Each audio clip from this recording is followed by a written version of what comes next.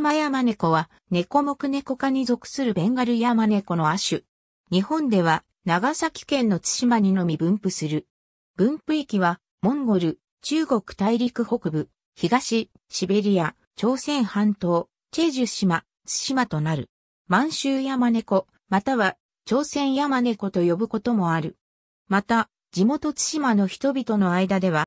地域によっては、津島ヤマネコの餌となる動物が住む水田付近でも見かけられることから、タネコ、里猫と呼んでいた。なお、地元民には、津島山猫の他に、山に生息する大山猫が認知され、これらのうち津島山猫を上記同様にトラゲと呼んで区別していたとされる。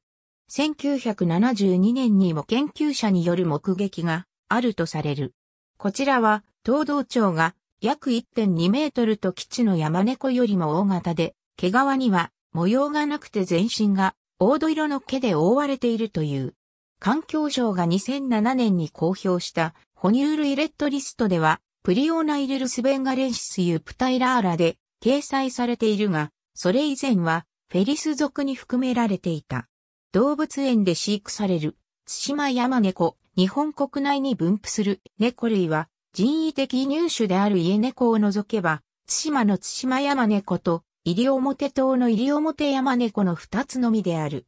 1965年の劇的な発見と報道により全国的に知られるようになった西表山猫と比べると知名度は劣るが、本種も同様に絶滅が危惧される希少動物である。1994年、環境庁によって国内希少野生動植物種に指定されたが、哺乳類では長らく西表山猫と本種の2種のみが指定種であった。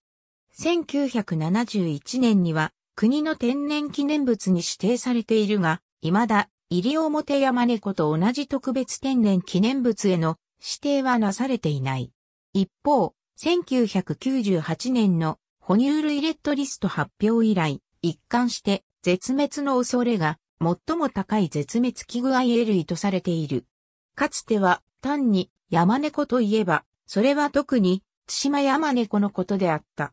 猿といえば日本猿、狐といえば赤狐を意味したのと同様である。古くは200年ほど前の文献に山猫として記述されており、1902年頃までは津島全域に普通に生息していたと言われる。毛皮は利用価値が低かったが、肉は美味であり、島にはもっぱら山猫を狩る漁師も存在した。猟犬の導入による減少があったとも言われるが、1945年頃までは山奥にはまだかなりの数が生息しており、山に入れば必ず目撃されたとされる。しかしその後、森林の伐採による営草地の破壊に加え、林業の普及により本来の植生である紅葉樹林や商用樹林そして混合林の伐採された後に針葉樹の植林が進められたことや山間部の工作地の放棄が進んだこともあって、食物となるネズミや野鳥などの小動物が減少した。しかも津島には、津島店や朝鮮イタチといった競合者が多く、これらの動物は津島山猫よりも雑食性が強いために、開発が進んだ環境にも強い。除素材や農薬の使用がさらに追い打ちをかけ、近年は野猫や野犬の増加が津島山猫の生存環境をますます圧迫している。1996年には、野猫内視のラ猫から感染したと思われる、フィブ感染症の津島山猫が初めて発見されている。また、鶏小屋の猫などの被害から守るために農家が設置した罠により怪我をする個体も相次いでいる。さらに近年では開発が遅れていた北部でも道路整備が進んだことで交通事故により死傷する津島山猫も増加している。なお、津島には、津島山猫の飛び出しに注意を促す道路標識がある。このような悪条件のもと、1970年代以前には約300頭、1980年代には100から140頭と推定されていた津島山猫は1990年代の調査では90から130頭、2000年代前半の調査では80から110頭にまで減少した。2010年から2012年に実施した津島山猫生息状況等調査では70から100頭と推定され、減少傾向にあるとされている。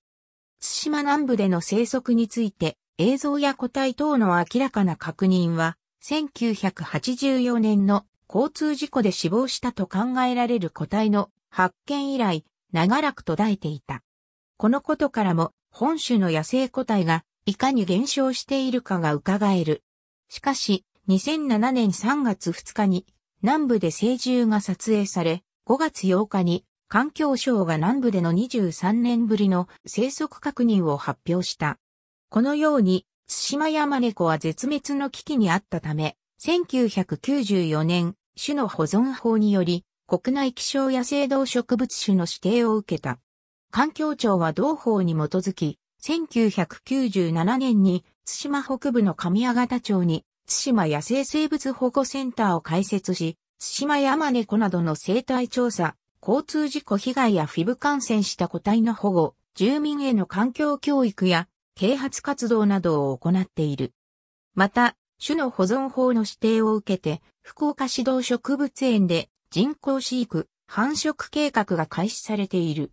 同園では2000年と2001年に、それぞれ1頭の子猫が誕生しており、その後も多くの子猫が誕生し飼育されている。2004年3月から、加齢のため野生に介せず繁殖もできないオスとメスの個体それぞれ1頭の一般公開を始めた。さらに、環境省は2006年9月、飼育を分散し、繁殖を目指すことにし、新たに井の頭自然文化園と横浜動物園ズーラシアに、オスメス一頭ずつを移送し飼育し、繁殖の試みを始めた。分散飼育の目的は感染症や災害等、発生時のリスク回避、及び遺伝的多様性の維持である。その後上記に加え、2007年11月に富山市ファミリーパーク、続いて九十九島動植物園、東山動植物園、盛岡市動物公園、沖縄子供の国、京都市動物園と分散飼育を実施する、円環を増やしていたが、繁殖の停滞と飼育か繁殖個体の高齢化が問題となった。このため、環境省は2013年に繁殖の可能性が高い年齢の個体を拠点となる、園へ集約し、2014年に福岡市動植物園及び九十九島動植物園で5年ぶりに繁殖に成功させている。将来的には、環境省が、津島市南部の鮎戻し公園に開設した津島自然保護官事務所伊豆原事務室の野生巡回施設に、動物園での繁殖個体を収容し、野生復帰をさせる計画があるが、このような状況のため移動させられる個体がないのが現状である。このほか、国指定鳥獣保護区の設置など、生息地の保全措置、地元自治体や NPO による保護啓発活動が行われている。2004年10月にはインターネットオークションに津島山猫の剥製を出品した男性と、これを落札して譲り受けた中学生とその父親が種の保存法違反容疑で長崎県警から長崎地検に書類送検されている。2013年10月18日、津島市に住む男性が自宅で飼育していたメスの津島山猫の治療を津島野生生物保護センターに要請し、同センターで治療したが、約9時間後に死亡した。この個体は15歳から16歳と推定され、老衰死と見られている。15年ほど前に怪我をしているところを保護し、そのまま飼育していたという。